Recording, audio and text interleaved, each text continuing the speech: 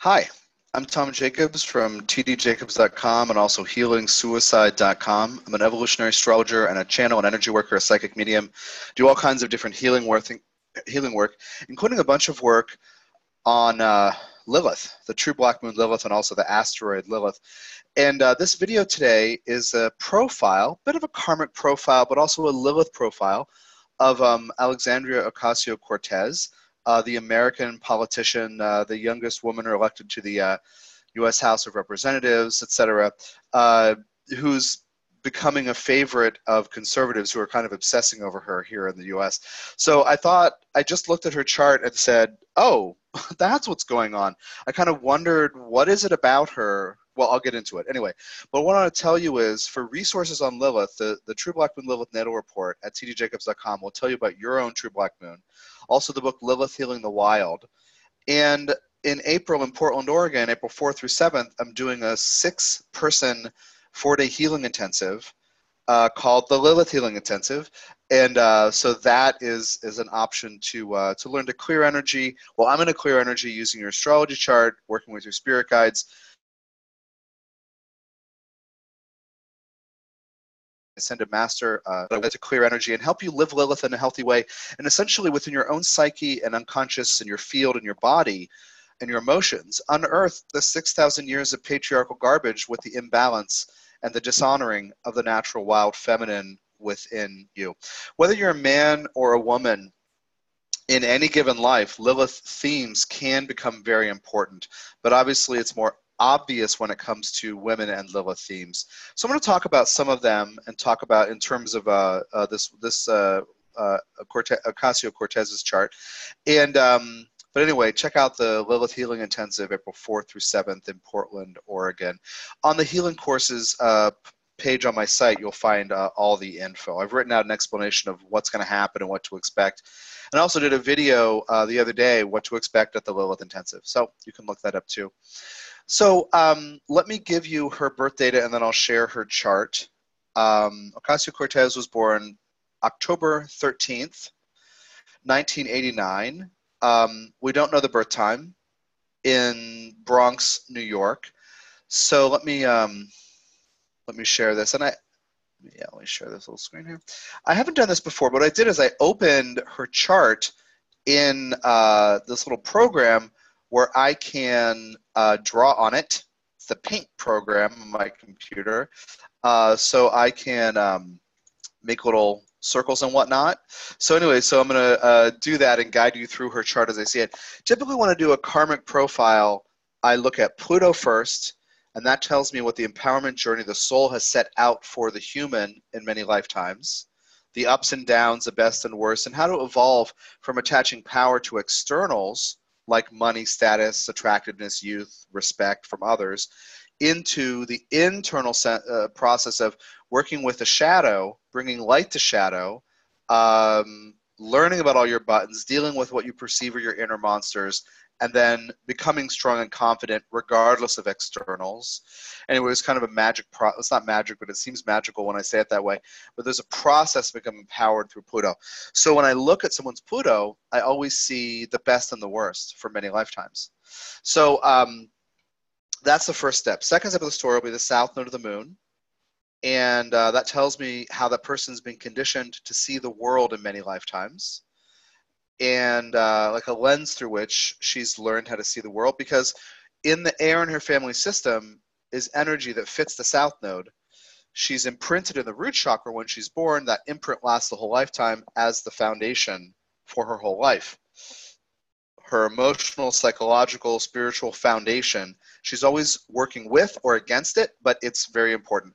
Third step of the story is the south node ruler by sign and this tells me how she shows up as a unique individual in many lifetimes that may be different. So in this case, uh, Ocasio Cortez's South Node's in Leo. The ruler is Sun, so Sun's in Libra. So we talk about those.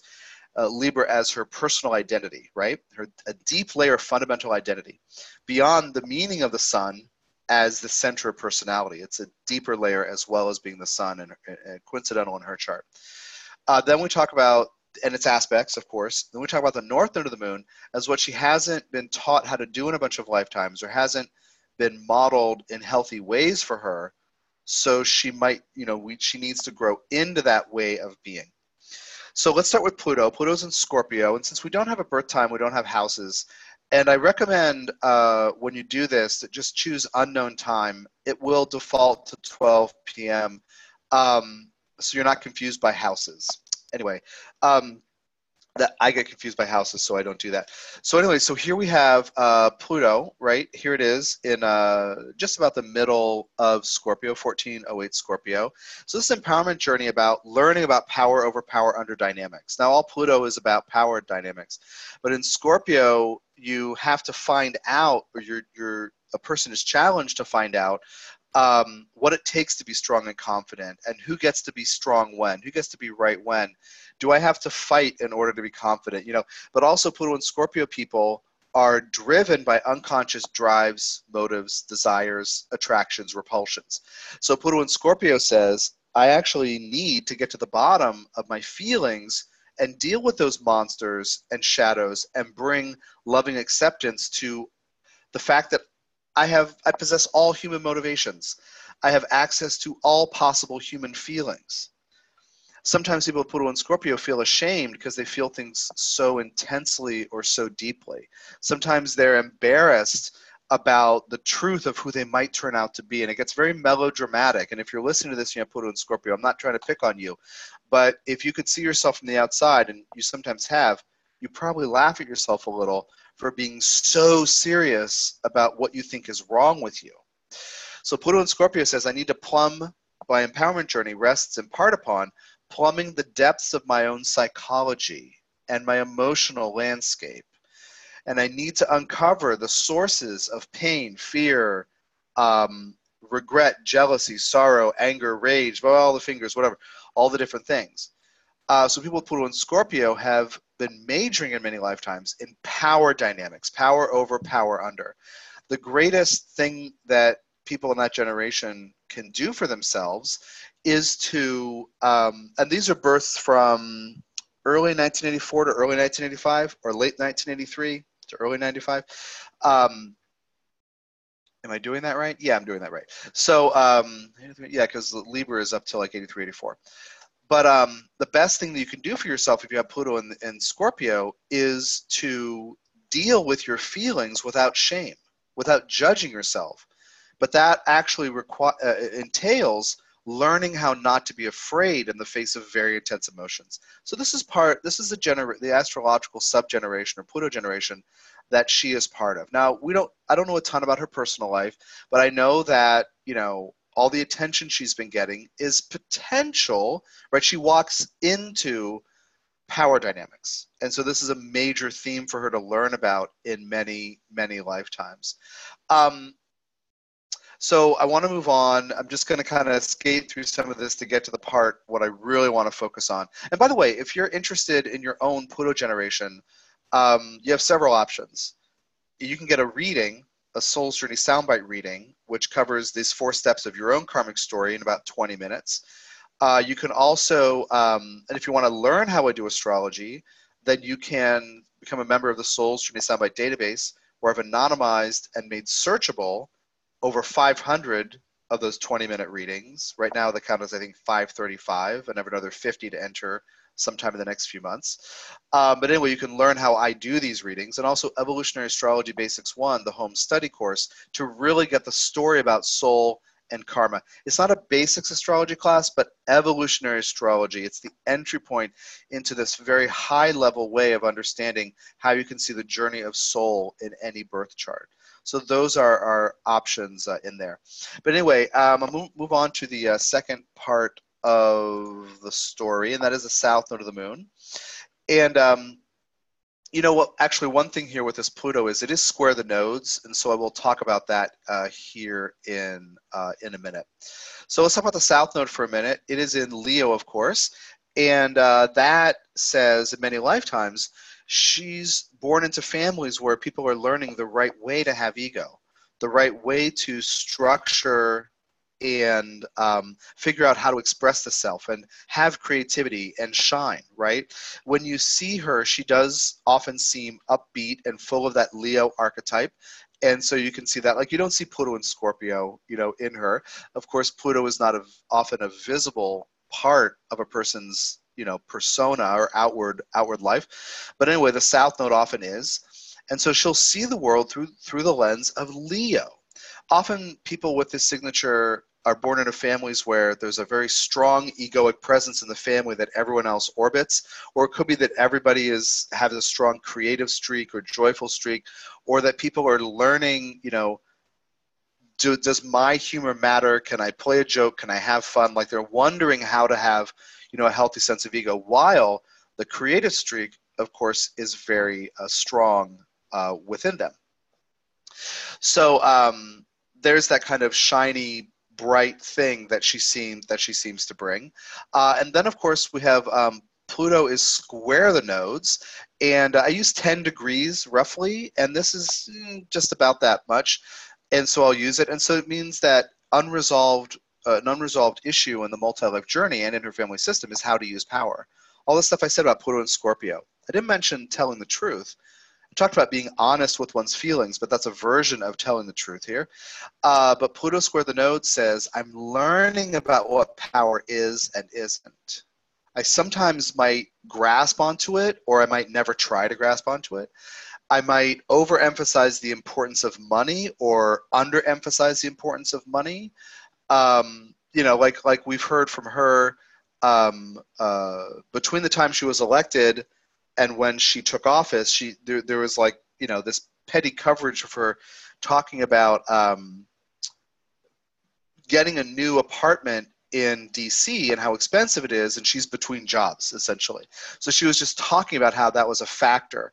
She didn't make a huge deal about it, but other people did. I'll talk more about that and why people want to make a big deal about her uh, for various reasons. And some of them are obvious and some of them aren't as we get into the Lilith story in a, in a couple of minutes. But Pluto and Scorpio square the nodes says I'm learning about what power is and isn't. When I say what squares to the nodes is, like I say, an unresolved issue. I don't teach it's a skip step or a misstep. People always assume that because other people teach that.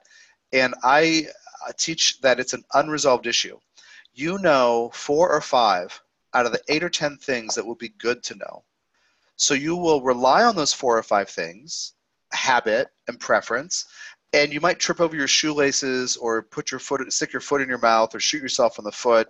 Lots of foot imagery um, foot metaphors but you know you might trip over something over and over and over again until you learn how to break the assumptions that lead to those behaviors. In other words change the beliefs which is changing karma. Changing deep beliefs attached to emotion is changing karma.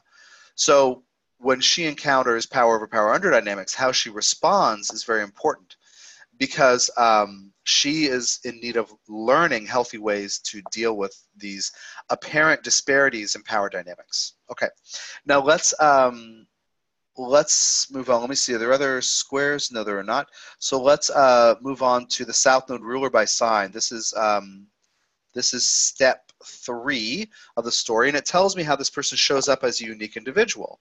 So the South Node says, me and my family, we are working through these kinds of themes together. South Node ruler is special skills and talents that I show up with. And so in her case, South Node is, of course, in Leo. Its ruler is Sun. We go to Libra. So I am listening to people. I may be focused on relationship. I may be interested in justice, equality, balance, harmony. I may bring a strong creative streak um, I may be charming. I may have a lot of experience being a professional listener or salesperson where I can get through to people because I can put myself in their shoes and they feel it. So that's a strength of a Libra South Node ruler. Of course, on the personality level, Sun is in Libra, so her whole, you know, conscious self and personality is organized around some of these ideas about Libra. Um, but we have some conjunctions here uh, that are really important, and then, then another aspect. One of, um, actually, two other aspects beyond the conjunctions. So we have Juno, and Juno says that you're committed, or you might tend to commit to things, to justice, harmony, balance, other people. It's easy uh, because of um, some people's work with asteroid goddesses, it's really easy to assume it's about marriage. So she should be married or would be married. It's not about marriage. Uh, Juno is the only goddess who is married, but think about the commitment that creates marriage. Till death do us part, I do. Think about that as a more useful guideline for even if, you know, I have Juno conjunct my sun I'm not married. I will likely never get married, but I have Juno with my sun So it's central to my identity, but I will commit to certain things. It is in my nature to be committed, even if there's not actual, like, formal, you know, marriage. So think about it in terms of committed. She will be committed to causes or to her own creativity and expression. She'll be committed to these things. And, um, that can lead to a deep sense of confidence because you have conviction. You know what matters to you and you've made a commitment. The other another here is Mars, the, the symbol of like one of the warrior symbols in the chart, the other being Pallas Athene. Mars is the instinctive, scrappy fighter. Uh, it's about defense, it's about desire, it's about saying yes and no, it's about fire and instinct and impulsiveness. Uh, so that's wrapped up in her journey too. She's a fighter. It's in Libra, so she's probably polite at times. You know, she has the ability to be charming and polite and to make people like her if she wants. But she also has that fighting spirit. And so this is, you know, and I think we see that with her comments. Like it's, I think it's good, you know, the way she talks about certain things and what she's committed to and what stands she'll take regarding certain political issues. Uh, she's a warrior. She's got the fighting spirit. The other conjunction is to, in this chart, it shows up as uh, LIL and O in parentheses. That means the osculating apogee or the true black moon Lilith. It's not oscillating, it's osculating. O S C U L A T I N G. Uh, and that is a technical term for how it moves. Uh, it's a point and it's a function of the moon's orbit around the Earth. So the way I work with Lilith, and I'm told my approach is the only positive one out there, uh, that really doesn't demonize Lilith. I don't start with the idea that Lilith is a demon. I start with the idea that we, through our patriarchal philosophy, have demonized the natural feminine and demonized Lilith. Again, the, the Black Moon Lilith Natal Report, Lilith Healing the Wild, the book, that's available on Kindle, Amazon, and tdjacobs.com. And also the four day Lilith Intensive if you're committed and really want to get into these issues and heal this stuff. But we've demonized the feminine culturally and therefore in every way. So um, my approach to Lilith is instinctive root chakra wisdom. The, the wisdom of the cycles of the earth and nature as they are preloaded into our root chakra. Meaning, like when you get a computer, and an operating system is already installed, Lilith is already installed when you're born in your consciousness within your root chakra.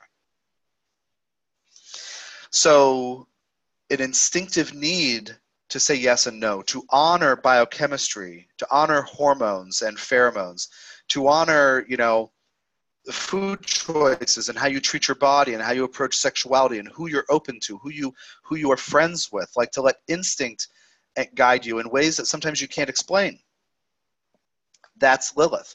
I talk about it as the it looks good on paper syndrome, where everybody says, You have to meet my friend Bill. Bill is great. Here are five things that you will love about Bill, and he will love things about you. You say, Well, sure, let's I'll meet Bill. And you meet Bill, and immediately your skin crawls and you can't stand to be there. And there's no reason. He's nice he's polite he's not snarling or throwing things. You know he's not like blowing things up or like whatever. He's not waving knives around. He's not uh, yelling and screaming. But you in your body your biochemistry your energy field and how those link together are saying no not bill. That is lilith as well. So people with strong Lilith, and this is where we get back to uh, Ocasio Cortez, people with strong Lilith energy operate instinctively. So, first of all, she's got the Sun conjunct Mars. That's a level of instinct. Another layer of instinct is the true Black Moon Lilith conjunct the Sun and South Node ruler Sun. So, she's going to show up as a Lilith figure in a bunch of lifetimes. Now, some people with this signature will, and the reason I'm the reason I'm doing uh, this, the reason I'm inspired to do this right now, is because some people who are Lilith people when they have stuff thrown at them, uh, insults, accusations, gossip, manipulations, projections, whatever. And she's got all these things.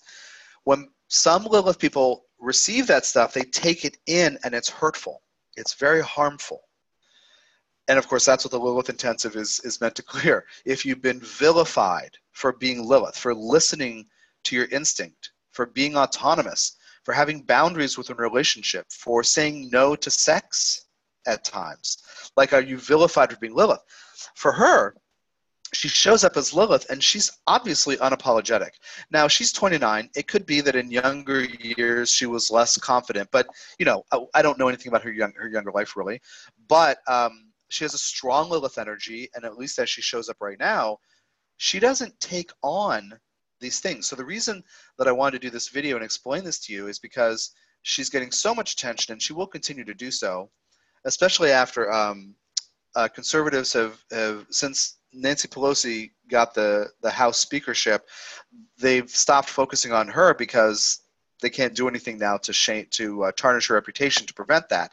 So anyway, now they focus on this young upstart who doesn't know anything or whatever is inexperienced and and whatever, uh, and they focus on all of these things about her appearance, about her clothing, about everything but focusing on these things. And what triggered this video is I was reading an article where a former staffer for Hillary Clinton's uh, 2016 campaign said, and it was quoted in some article, if you basically if you objectify a woman, uh, if you make of her a sex object, and you say, and you make it seem like you would have sex with her or you wouldn't like that value judgment in there. First, you objectify or put her in that space in your mind and your words, and then you decide thumbs up or thumbs down. You're asserting you're making a power move. We all, we all know that this happens. We know this is true, but the but the article went on to say, but this doesn't affect Ocasio Cortez. She seems not to be affected. Now, I would argue that people have hearts and people are sensitive. So she may be on some level affected, but she has a depth of confidence regarding this Lilith Mars Sun thing. To and like I said, with Pluto and Scorpio, she's been through the wringer of all different kinds of uh, important and stupid power dynamics in many lifetimes. But um, but she doesn't let it affect her like one example that, that got caught in my imagination was this uh, this video of her dancing as part of this like student ambassador program when she was at Boston University, and um, kind of recreating a scene, a rooftop dancing scene from The Breakfast Club, and and how some conservative dug it up and put it out and basically said, "Oh, it's a video of her dancing in high school, whatever." And all these people were responding with, "Oh, how terrible! She enjoys things, or she has fun, or she has friends. She's fun," and um, and then her response to that included a little bit of lip sync and dancing out and then dancing into her uh, like for 10 seconds into her office in the congressional office building like she didn't accept shame from people trying to shame her the same thing with the comments about how much her clothes cost or whatever it is you know so anyway lilith people have the option of absorbing those projections or having a deep sense of inner knowledge and inner self like self love to not accept those things. So, healthy Lilith overcomes the projections and the attempts to punish from others, the attempts to control and shame. Healthy Lilith knows who she is. Whoever you are, man or woman, whatever, any age, healthy Lilith knows exactly who she is and isn't afraid of the pettiness from other people. So we all need to get there. And all of my work on Lilith is focused on helping individuals I mean, the teaching is reaching a lot of people, so it's it's spreading, so it's reaching collectives, but it's focused on each individual learning to validate the self and stop expecting to be shamed or punished. Stop, in other words, being willing to be shamed. So she's a great example of not being willing to be made wrong because she exists. A strong Lilith figure. Um, she does seem young, and that's going to continue. I mean, she is young relative to all the, you know, a lot of the people in, in uh, U.S. politics, uh, in in the Congress where she's now a member. Um, but she, you know, is feminine. She's attractive. She's not deepening her voice and trying to, you know, she's not trying to put on any airs. She's speaking honestly. So we're going to see a lot more uh, coverage and, frankly, obsession over her until they until the conservatives need another poster child for picking on the Democrats or whatever. Um, maybe you know they pick on her too because they say her ideas are half baked and they talk about the the threat of socialism because she identifies as a democratic socialist or socialistic democrat democratic socialist. Anyway they're going to do that too and that's fine but she has such a, a confidence where she's not willing to let other people overpower her in that way. So that's a very healthy lilith example for all of us uh, by the way now let me talk about the other aspects here with lilith or with this uh, south node ruler and lilith um, I'll just say, actually, let's say South Node ruler is square Chiron, but Lilith is not. So she brings the Lilith and the Juno and the Mars energy, so that's central to her multi-life identity. And um, and then the, the South Node ruler itself, so she in many lifetimes, will feel squared by Chiron and Cancer. These can be the emotional wounding of other people. This can be wounds at home or people in the family who are sick or debilitated or something like that. Um, and it can be also an extreme sensitivity to others' needs. And there are two kinds of ways to respond to this. One is to learn about and be open to learning about humanity and the reality that people experience through being squared by Chiron, because Chiron has other people suffering and pain. Or you can be closed to it. And so this is one of the reasons, this is the primary reason why she is a democratic socialist instead of just being a Democrat. Because she's extremely aware of the actual facts on the ground of how things affect people in real life. So this is this is one of the reasons why. Because some people with with South Node Ruler Square Chiron shut down because it's messy to deal with other people's pain and suffering, and you aren't sure how some people aren't sure how compassionate they can afford to be because it can be draining to deal with other people's suffering. So anyway, so this is one of the reasons why she is um, why she is this, uh, why she fits into that category, why she identifies as a democratic socialist. It's caring about people. Now, just as a side note, for Bernie Sanders, who is also kind of in that groove, uh, through um, he has a south node in Pisces, and so he's very aware of the world and the collective. So for him, and I don't remember the rest of his chart, but but he has that orientation toward we are all one. We're in this together. And and Ocasio Cortez, it shows up a little differently, but this is also this is also true. Um, I do want to talk about the South Node ruler being opposite Eris. Uh, Eris is a dwarf planet, and over here, let's um, oh yeah, there we go, square Chiron. Okay, undo that. Sorry, I forgot I was doing this. And then uh, usually I would do this as an audio thing, so I wouldn't even have uh, uh, this little program up. Anyway, so we can look at Eris over here, my imperfect uh, circle, my oval. And Eris is about uh, strife and discord. And when you do something, if others get triggered into blaming you for how they feel as a result, this is the example I always use. Oh, and I'll tell you that um, in Living Myth True Explore, um, Sacred Psychology, there's a long chapter on Eris to explain this whole archetype. But what happens is, let's say that you and I are friends and I'm coming to get you and we're going to go do something together. On the way to your house, all I can think is, oh, this thing with my mom, it's so painful. I don't, I'm not quite sure how to heal it. And we're, we're having a conflict. And it just, every time I think about it, it stings. I don't know what to do about it. It's my own thing. And it's kind of buried. And I don't know how to deal with it. When I get to your house, you get in the car and you don't know this is happening. You don't know that I've been thinking about this and that it hurts. But seemingly randomly or coincidentally, you are you can't stop talking about how supportive and awesome and great your mom is. Everything you say stings. This is Eris.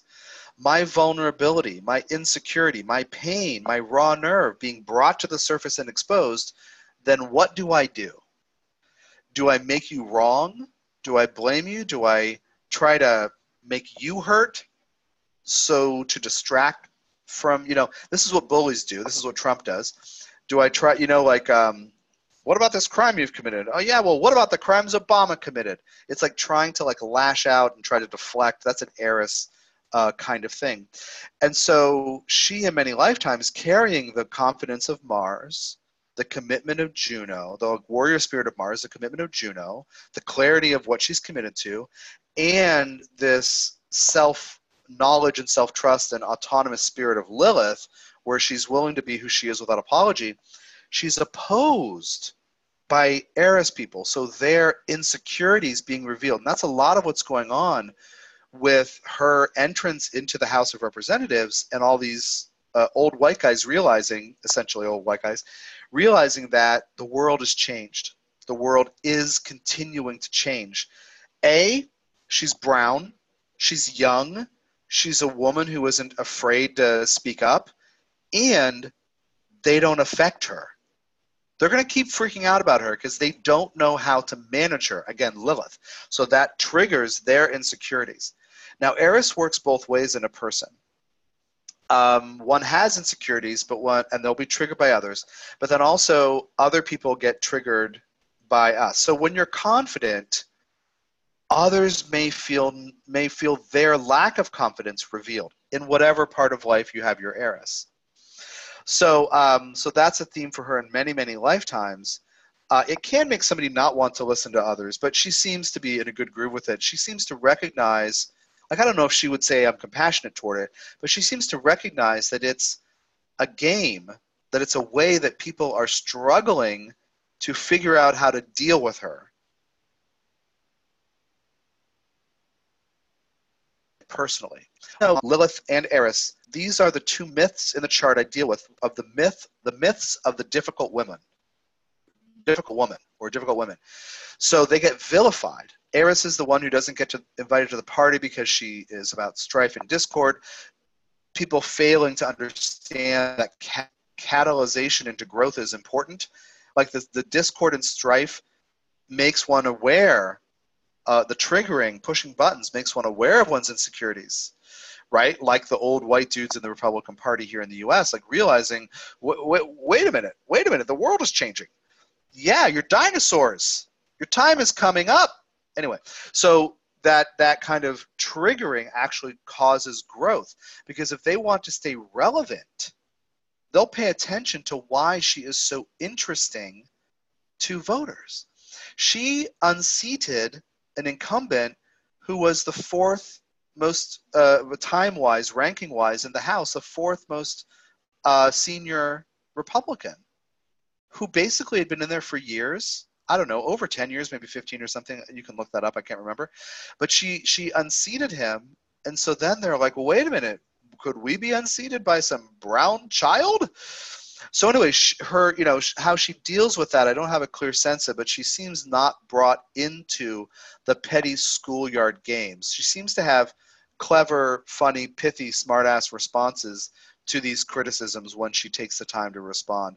But anyway, that is opposing South Node ruler. So in some lifetimes, she may feel she can't get through to people because of their insecurities. That's the kind of meaning of Eris opposing the South Node ruler. So now uh, let me finish this out by talking about uh, the North Node. And this is about uh, learning to individuate and march to the beat of one's own drummer. Uh, I don't know enough about her yet to really speak to how this may look in her life or if she's doing it or not. But typically, the North Node is what we haven't been taught is normal in many lifetimes, and so we leave it out. So, anyway, objective, uh, working with others towards shared goals, you know, being involved in groups and politics fits with, with Aquarius ideas. If you find the right tribe and if you work with others, and sometimes it's about community organizing, which she seems to have a flavor of. Uh, but anyway, uh, that's the North Node, which she hasn't been taught in a bunch of lifetimes is Aquarius.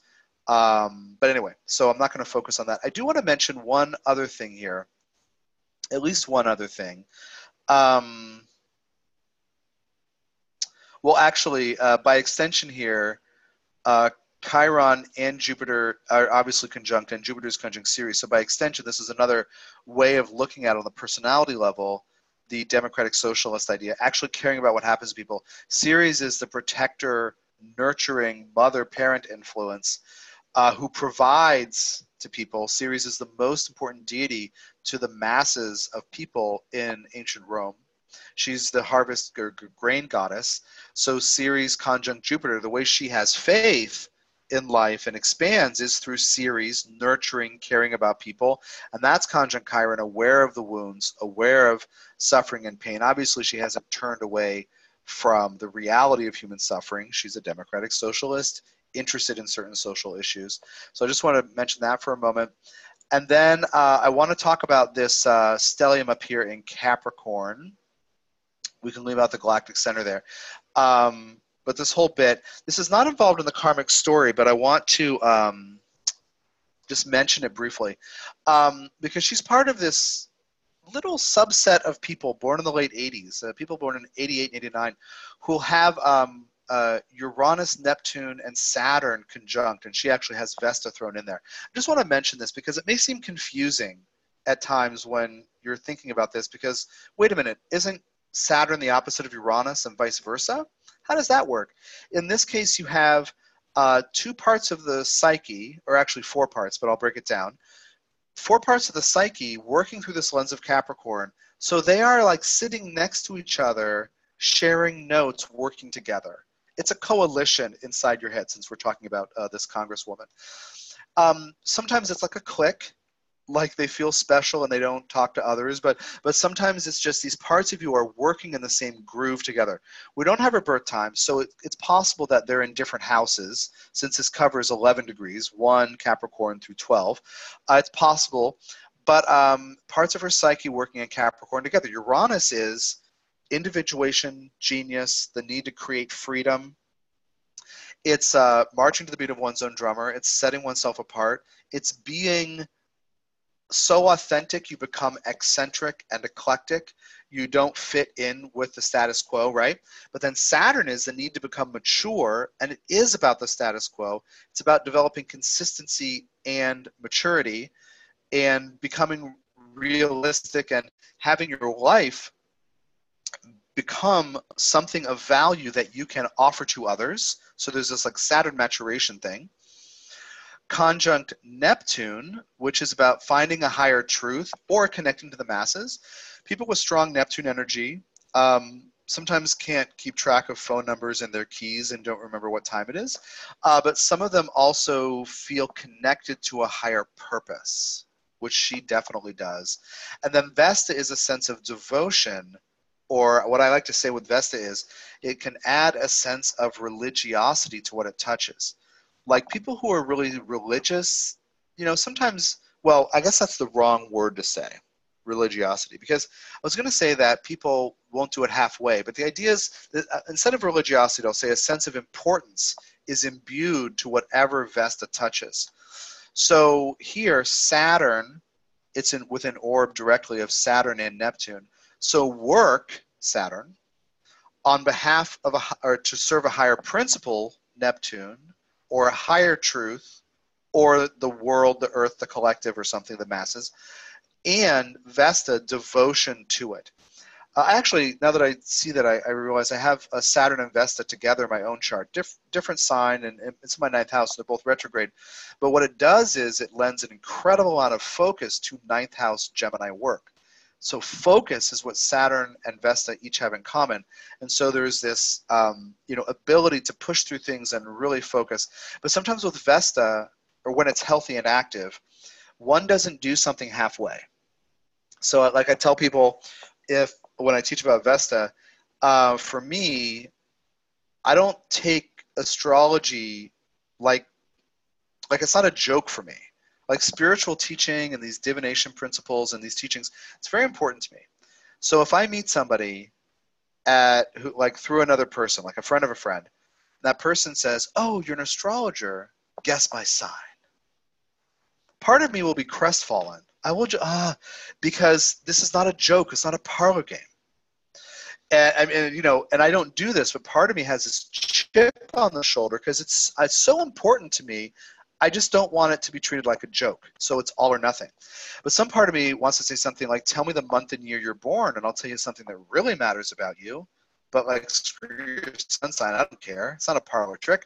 I don't ever do that. But but there's a sense of importance. And for her, work, Saturn, and being an authentic adult, uh, Uranus, is tied with a sense of what's true, Neptune, and a devotion, a sense of service, Vesta.